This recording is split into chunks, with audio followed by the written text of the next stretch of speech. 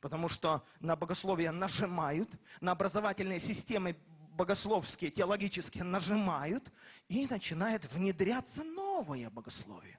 О процветании, о том, что Бог – это любовь, о страхе Божьем не проповедуется, о том, что Бог может взыскивать, не проповедуется. Это не популярные теории, люди не пойдут в эти церкви. Это считается экстремизмом религиозным. Надо новое, свежее, позитивное. Ты включаешь телевизор, все, что ты слышишь. Иисус тебя любит, Иисус тебя ждет, ты самый любимый. Я недавно включил телевизор, и а, слышу, думаю, проповедник призывает к покаянию, большая а, масса народа, несколько тысяч, и он призывает к покаянию. Если вы хотите принять Иисуса Христа, я внимательно слежу, как проповедник будет призывать к покаянию. К покаянию призывают грешников. И я заметил, когда он молился молитвой покаяния, он ни разу не употребил слово repentance, он ни разу не сказал, что это покаяние, он ни разу в своей проповеди не употребил слово грех, он ни разу не, не, не употребил слово крови Иисуса Христа во мытье грехов, этих категорий не было вообще.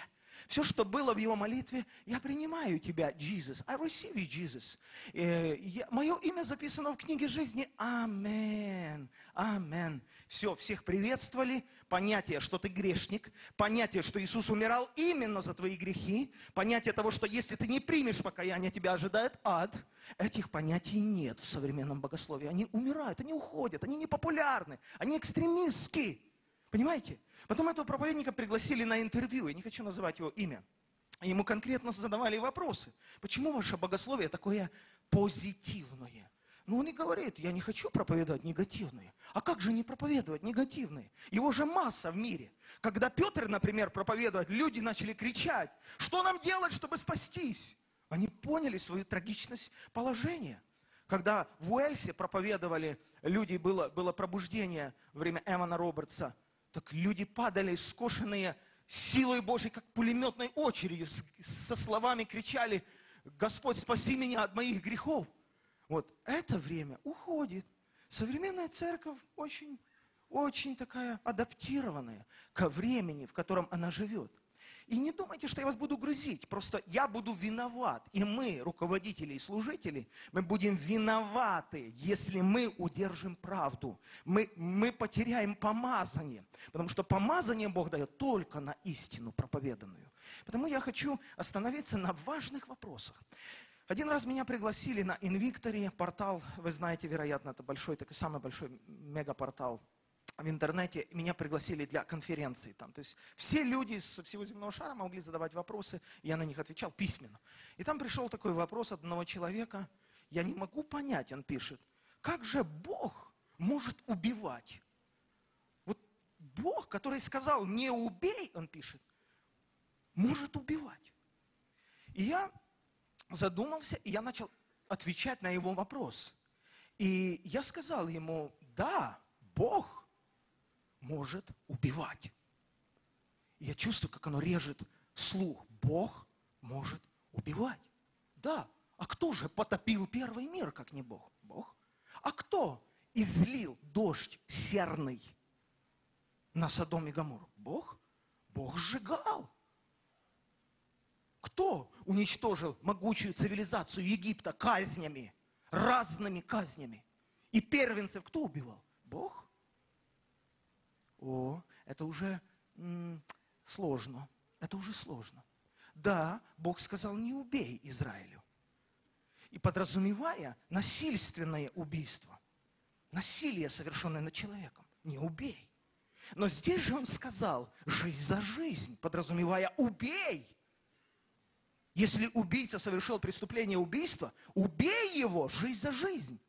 И это сказал не кто-то, это сказал Бог. Получается, в первом случае не убей. Если убиваешь насильственно, это грех. Во втором случае это правосудие. В первом случае бесправно делает человек, во втором случае дает право Бог. В первом случае преступление, во втором случае справедливость, правосудие. И это все были заповеди. И это все были постановления, данные Богом. И я хочу показать вам, друзья, что Бог, Он Бог ревнитель, Бог ревнующий за свой народ. Я хочу сказать, что дьявол очень спрятал от нас, от церкви, от людей, спрятал свою тактику. А, тактика дьявола очень хитрая, очень хитрая. На уровне ума и, и, и э, логики мы, мы с ним не справимся. Он нас обманет. Просто Дух Святой поможет нам разобраться в его, в его намерениях. Я вам хочу прочитать очень важный духовный текст. Послушайте, пожалуйста. Это второе послание Коринфянам, 10 глава. Э, чрезвычайно важный. Вы просто не можете его пропустить. Второе послание Коринфянам, 10 глава. Я буду читать с 4 стиха. Оружия воинствования нашего не плотские. Во-первых, важно понять, что мы в войне. Это очень важно понять, молодые люди. Неважно, какая тактика. Есть война открытая. Война, где льется кровь. А есть война, если вы интересовались, читали такую литературу, там хотя бы Суворова Виктора. Вы понимаете, что есть понятие холодной войны. Есть война, где не льется кровь, но это тоже война. Скажем, во времена Бонапарта Наполеона считалась такая война, ну, унизительной. Если вы знаете, как солдаты Наполеона воевали, они просто становились в строй и шли. Вам не казалось, что это вообще глупая тактика? В них стреляют, они просто идут. А знаете, почему так было? А потому что для солдата в войне считалось унизительным ухищрение. Тактика, когда прятаться. Тактика, стратегия Наполеона была, это ты воин, бери свой штык и вперед. Потом пришло понятие другой войны. Э, вербовка кадров, шпионы появились. Вот, скажем, 914 год война у России была с Германией.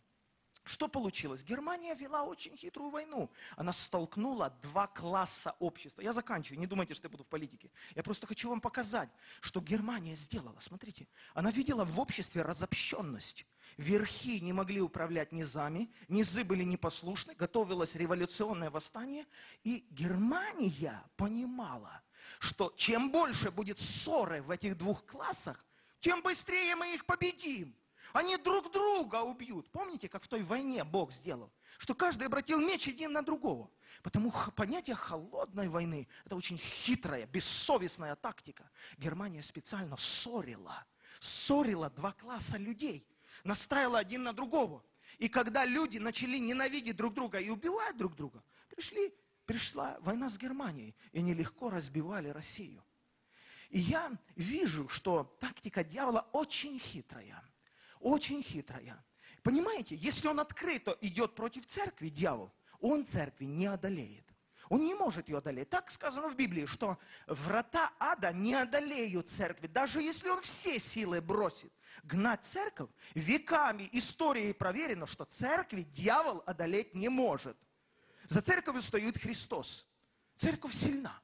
Тем более, когда мы в Барении, как там написано, находясь в Барении, прилежнее молился. Мы прилежнее, мы замыкаемся, мы закрываемся. Когда враг приходит со стороны, скажем, к вашему дому или городу, люди соединяются, даже которые враждовали, которые ссорились соседи. Приходит война, люди говорят, хватит выяснять личные отношения. Враг у ворот стоит. Люди объединяются. Но когда вражда внутри, о, это совсем другое. Поэтому надо понять, что дьявол не ушел, что в Америке нет гонений, в Америке свобода, а в Европе свобода. Дьявол остался.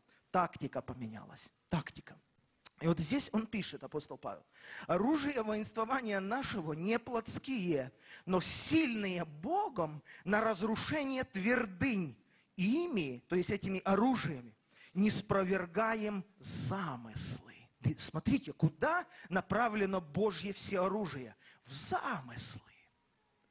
Замысел – это именно то, что он задумал, замысел.